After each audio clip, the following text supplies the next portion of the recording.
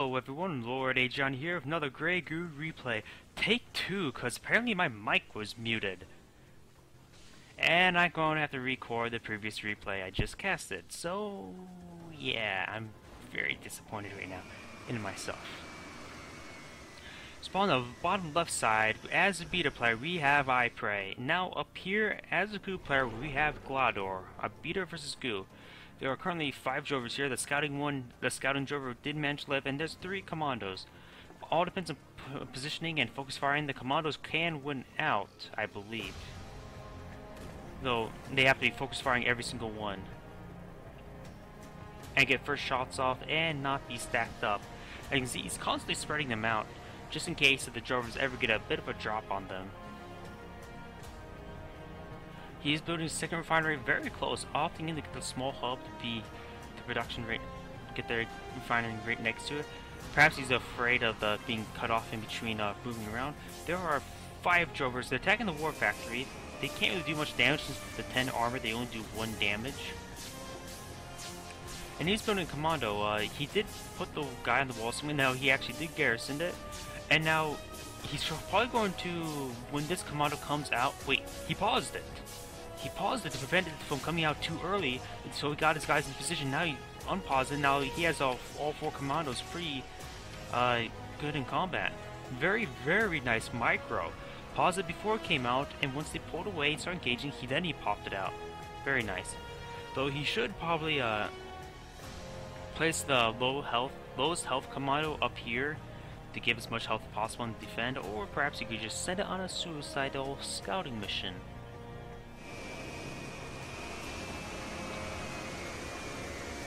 Currently he's building the tank attachment, planning to get some more technologies. Or just probably predators.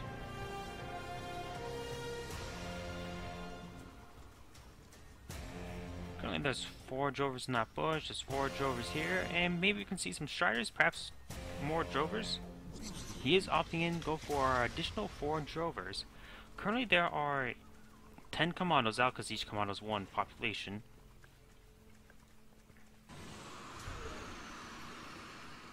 Or perhaps... never mind. Uh, I was talking out loud.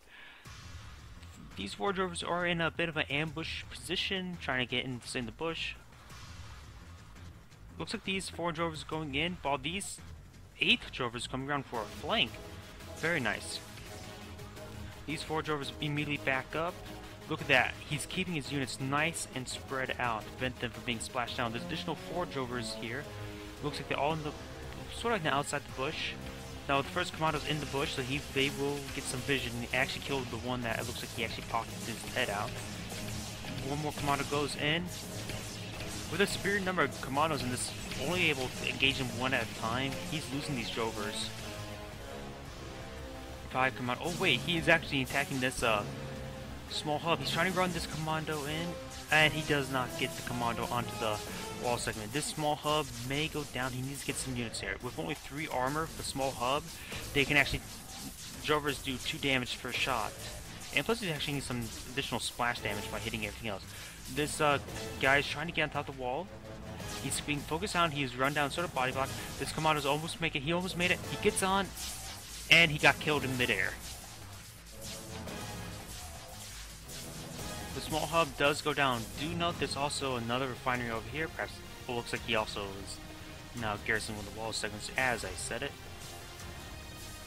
Two predators are out with their with their uh, large amount of armor and a higher rate of, and superior fire compared to commandos. They should be able to deal with this. Running through the commandos, still leaving one behind.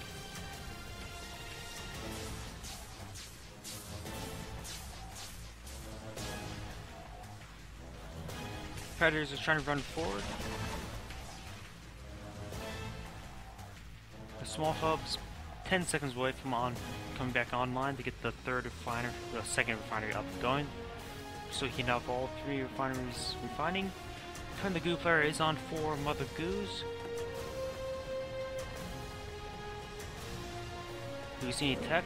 No, we don't see any tank tech. Perhaps a detonation pack for the commandos will be quite hopeful if he continues building uh, drovers.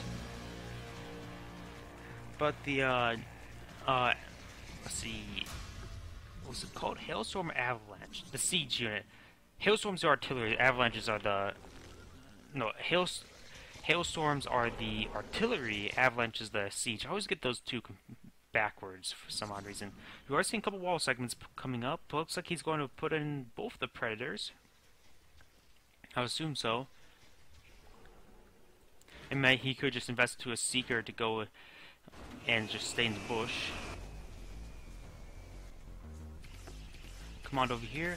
These commandos are trying to destroy this uh, catalyst vent plug, but it will take quite a bit of time since it does have 4,000 health. And plus, these uh, drovers are coming in. He should tried to jump on on top of that wall now, but he's not paying attention. He's not paying attention. He tries to jump. Nope. Once again, dies as while he's jumping.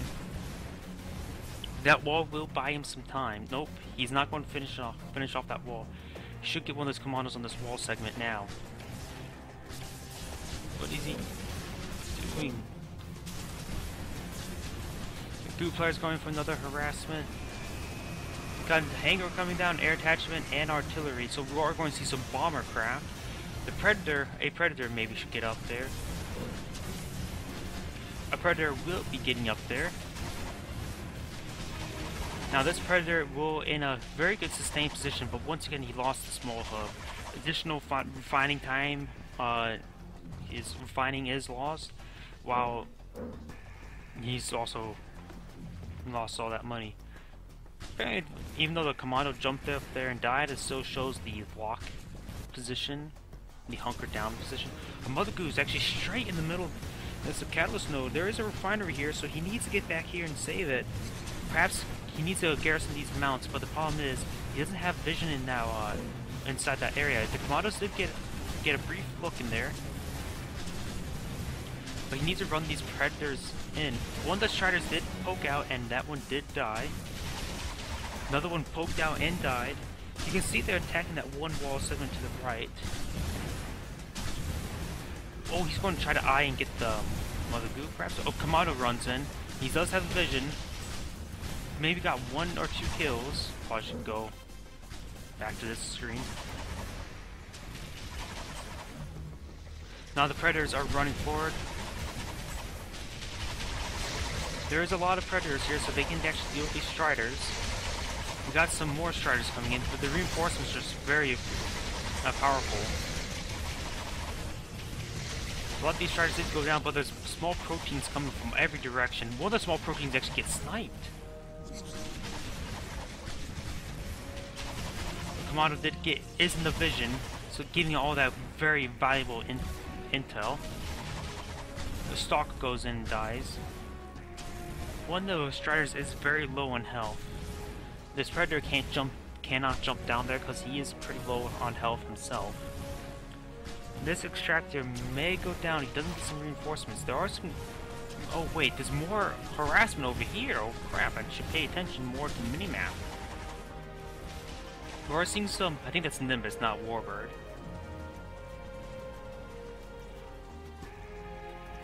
And this uh, harassment, or I don't know if it's considered harassment or a siege, but it has been dealt with. Currently, the Goo, the beta player is on six while uh, refineries, while the Goo player is on seven. No, wait, make that nine Mother Goos now. There are some striders here. This area has not been harassed, but there is a commando here to protect it from any light harassment.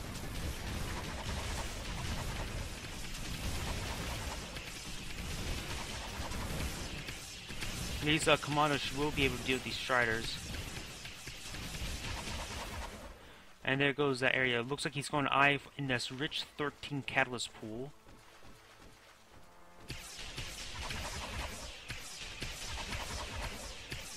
You could, I think the positioning so you can get it, maybe even three, up to three refiners in that rich catalyst pool there. That would be the most optimal situation. The goo player is now on all 12 Mother Goos. We do see a lot of uh, additional forces here putting out some more and more uh, wall segments just to get those mountain locations. He is starving for cash because he's he's currently building the refinery. He's at 10 seconds left, but stalled for cash. Predators are out in the front. Predators should stay near these commandos in the wall segments. He looks like going re-garrison the pred Predators.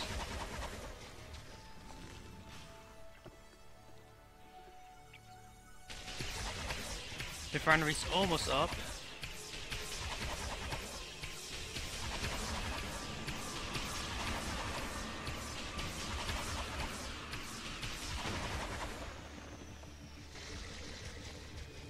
will be a bit of time before that refining actually gives some income back.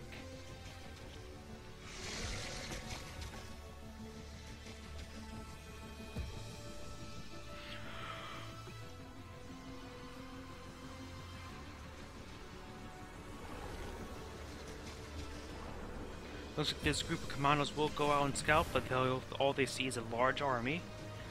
Wait, are the Nimbus done? There is a is that Nimbus done? No, it's not. That just in the production screen.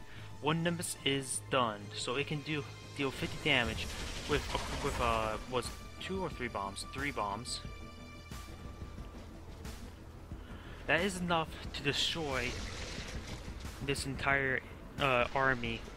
Well, the three shots is enough to destroy any units in, within this army. Drovers only take two, Striders takes all three. There's also Hailstorm Artillery, so we are going to see some heavy mechanized play.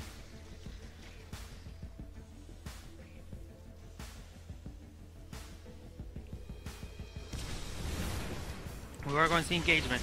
This wall segment is up. These hailstorms are trying to run back. The Nimbus actually do have catalyst bombs. So we're going to see uh, some flames here. Wait. It's not actually done yet.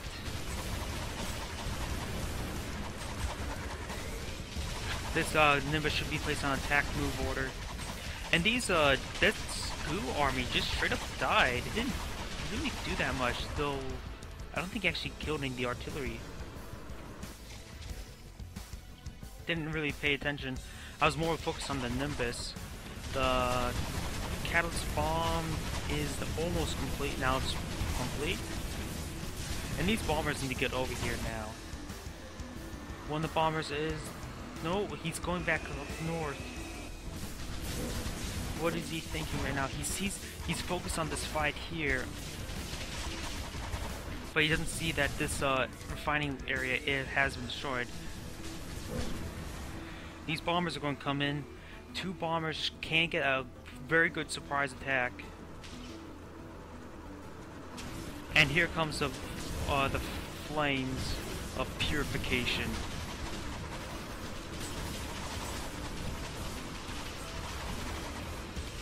And that army was pretty much destroyed by those bombers. The flame damage increases the radius. The damage is still the same, if I remember correctly. It does the damage over time, though, instead of initial damage. But the radius is much, much greater. He does have some Tempest out. Tempest do do 20 damage per shot, and these uh, Nimbus do have 175 maximum health, so they can withstand some fire, but not a whole lot of it. There is a Bastion here, interesting choice. Well, I suppose to absorb as much damage as possible, but he probably needs more frontline units because he doesn't have much attacking units at this point. Though I love my Bastions, okay, now he actually has an arm to back it up. We do see these uh, forces coming in to harass, playing more and more of the fires of liberation. Remember, place your Nimbus on attack move so they can automatically dispense all the bombs. He does not have a move and shoot force artillery, which is a bit of a problem, I say. He has a lot of AA coverage, so calling in bombers is very ill-advised in this moment though it may be worth it, because they do have the fire bombs. There's actually a lot of artillery in this bush, though some of them are being taunted. Now with the Bastion dead, they are no longer being taunted. The Guru to AA is actually engaging, almost killing that unit. Perhaps he should invest to uh, hangar repair pads, and he actually is going for hangar repair pads in the economic tax upgrade area. I should probably close my window. I live in an apartment complex and I hear people talking outside. Looks like he's also going to apply some pressure onto these Mother Goos, getting some hefty amount of damage. Looks like he's going to come in for a counterattack. One of the Nymphas do go down. He does have one bomb left. Place an attack move to make it dispense his bomb and go back to base. Goop players are running up his army. The artillery does nothing to one-shot one entire crew. That's very nice. The Bastion is down, so they can now really engage the ground forces bad shot there. He needs to fire into this group. Overshot. Another wave of artillery coming in and gets a huge amount of their army.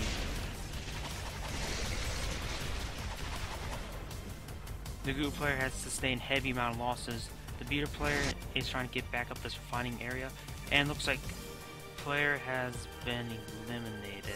Uh, I think that would be the Goo player that surrendered think so, because usually the command center blows up. It never said who was victorious, who lost. So I'm assuming the goop. Oh yeah, definitely the goop player lost. With this uh, flanking force wiping out all these mother goos, so even putting wall segments on the ridge of nodes preventing the mother goos from finding. Yeah, the goo player actually did lose. This was a very good replay. This is Lord A. Saying thank you for watching and signing off.